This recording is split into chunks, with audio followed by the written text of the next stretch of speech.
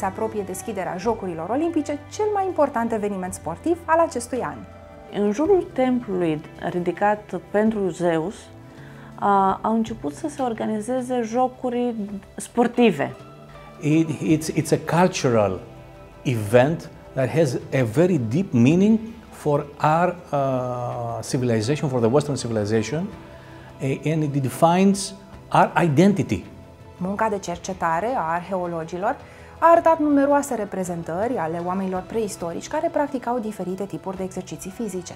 Și atunci se impunea o astfel de competiție grandioasă care să-i alăture pe toți cei care performau în sport. Nu erau de la început jocuri sportive, erau, era un concurs de muzică, de artă.